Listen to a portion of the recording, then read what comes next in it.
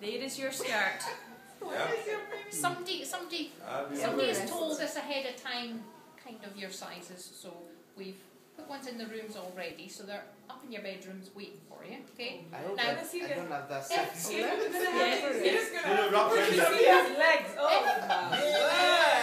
Yeah. Make sure you put If they're not lotion. right, we do have other ones. So just give us a shout to either me or Michael, and we can get another one for you that'll probably, well, fit you better. Okay. But they'll Right. make they'll make you try on the one that's in your room and laugh at you first, and then give you a different one. No, if we don't give them a kilt demo, that's when we have Ah, to okay. laugh. Right. So Sorry, right, I'm the golden rule for the kilt is pleats stay at the back. Okay. Right. See? Yeah. Boom. Yeah. Nice pleat on the back. Right. So inside there's hooks and eyes, so you're going to locate your waist size. Okay. And then we're going to have to break the golden rule, turn it round, and we're going to finish tying it on the buckle at the back. Okay. So yes, this is, this is definitely more difficult than the lady with a sash, you know, easy sash. Right, we're going to leave it round the wrong way because the easiest way to put the man bag on, the mm-hmm. sporran, Animal. is if you leave it round that way, okay?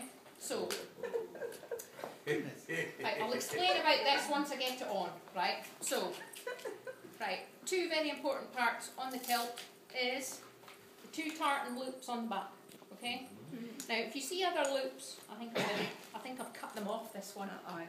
There's other grey loops, which is just for hanging it on a hanger. So, the ones on the back of the kilt is the important ones. So what you're going to do is you're going to feed one side through there. This is a difficult bit. I'm not denying it.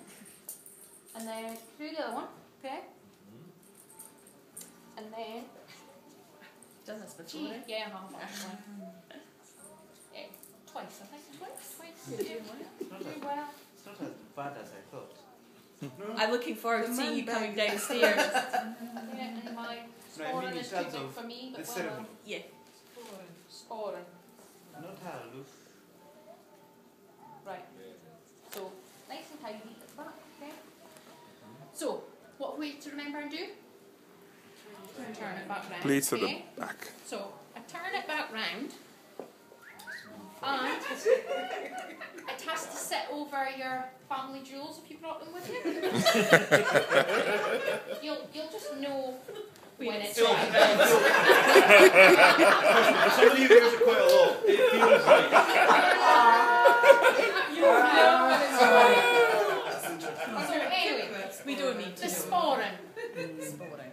You haven't got pockets anymore. So, oh, this is going to be your pocket. Your so, man anything you would normally put in your pocket, you're going to put in here. But maybe not your hand, okay? it's not, Actually, what's better? not, not see, a good look. If you put your thumb, see, Harry, put your thumbs on the fork. No, no, that's right, the other way, round the back. What do you mean that- round the back? Oh God.